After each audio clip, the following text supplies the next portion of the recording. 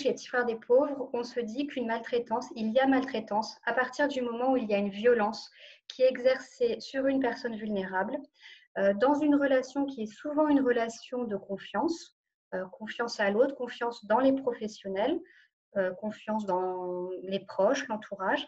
Et cette violence, elle génère de la détresse.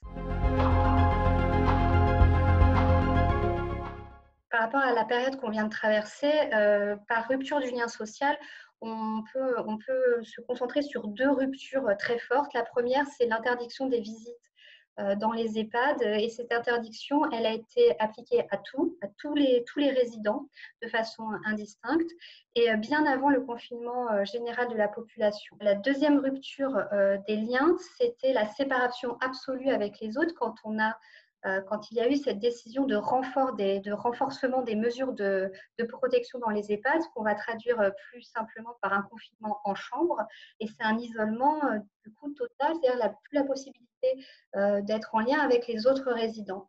Et euh, ces ruptures euh, avec l'entourage familial, l'entourage amical, ou des personnes significatives comme nos bénévoles qui représentent pour certaines personnes énormément, on peut regarder ces deux décisions et leur application comme une forme, une forme de maltraitance. Parce qu'on peut se poser aussi la question surtout du consentement des personnes euh, comment cela leur a-t-il été expliqué? Qu'en ont-elles dit? Là-dessus, on a assez peu d'informations. Est-ce qu'un EHPAD, c'est le lieu de vie de la personne? Euh, La personne âgée, elle signe un contrat de séjour qui la lie avec l'établissement. Il y a un projet individualisé pour cette personne. Et euh, tout ceci a été écrasé complètement par l'urgence sanitaire. Le Conseil consultatif national d'éthique a rappelé que le maintien du lien social, ça fait partie de la dignité humaine. Euh, et, du coup, dans l'application des mesures, il y avait certainement euh, quelque chose de la, proportionnalité qui n'a pas été respecté partout. Et en ce sens, on peut, euh, on peut effectivement aborder cette question par le prisme de la maltraitance. Quand il y a maltraitance, il y a d'un côté un auteur et de l'autre côté une victime. Et on peut se dire, mais de quoi ont été victimes les personnes âgées qui ont, qui ont été isolées, confinées, confinées de manière beaucoup plus euh, conséquente que le reste de la population. Elles ont été victimes d'avoir été privées de leur environnement euh, familial et, amical. Elles ont été privées du lien qui les rattache au monde extérieur. Et pour certains, ce lien, c'est leur raison de vivre. Nous, on a observé que des personnes qui déjà avaient été dans une situation de souffrance dans certains EHPAD, le lien avec les bénévoles, leurs attentions, le fait qu'ils leur amènent euh, parfois le journal, parfois un paquet de cigarettes, enfin des petites choses, enfin des choses qui nous semblent petites mais qui sont euh, essentielles pour certaines personnes à certains moments de leur vie.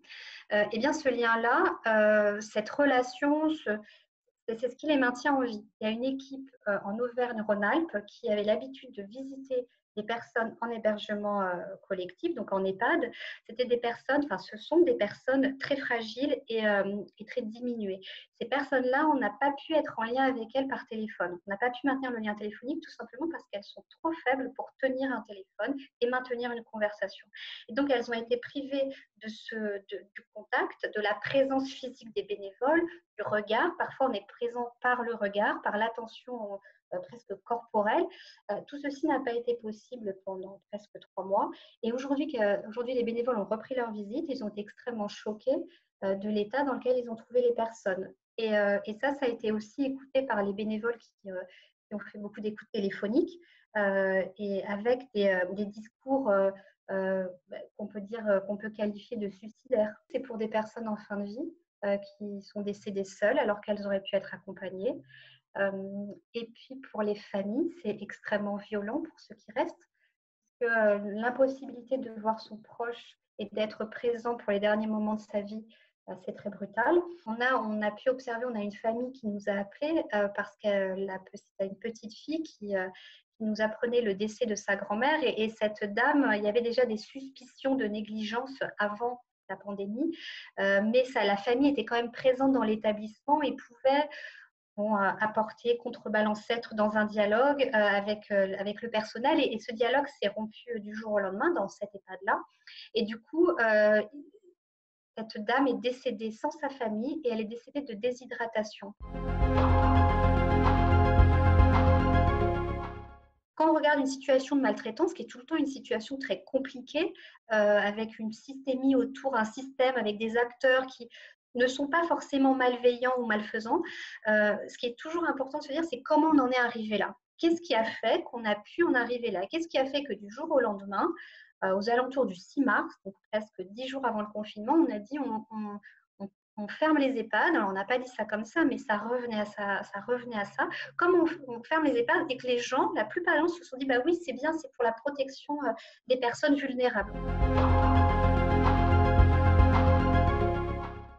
Soit par l'âge et l'état de santé et les capacités, euh, les situations, tout, un faisceau d'indices, on est plus en capacité de se défendre et de porter notre voix. Et quand on regarde les personnes âgées aujourd'hui, les personnes très âgées, du très grand âge, on parle euh, pour elles, mais elles sont très silencieuses et on les entend très très peu. Vous, en tant que citoyen, qu'accepterez-vous aujourd'hui et qu'accepteriez-vous plus tard? Est-ce que vous accepteriez qu'on parle à votre place et que euh, du jour au lendemain, par exemple, on vous change de lieu de vie? Un exemple que l'on voit très souvent à la cellule appui conseil de lutte contre les maltraitances. D'une personne âgée qui euh, chute, fait une chute, est hospitalisée et ensuite euh, il est décidé qu'elle ne pourrait plus rentrer à domicile et elle rentre en EHPAD. Ben, elles ne sont pas repassées par leur maison, elles n'ont pas revu leurs affaires, de nombreuses personnes nous ont dit qu'elles ne savaient pas où étaient passées leurs affaires. Cette manière-là de faire, elle est brutale, elle est extrêmement brutale et elle génère de la détresse chez les personnes âgées. Et donc c'est là que je refais le lien avec notre définition de la maltraitance. Euh, parce que la personne, elle n'est plus forcément en capacité de dire non, je voudrais qu'on fasse autrement.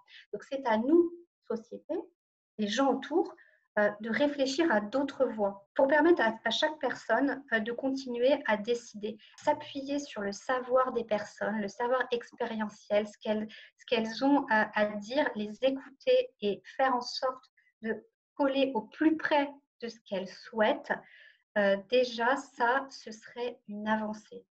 Euh, c'est pas évident, on ne le fait pas avec brio forcément, on se trompe, on peut être maladroit, mais c'est déjà un premier pas parler de, liberté et de la, garantir euh, à tous les citoyens, quel que soit leur âge en fait.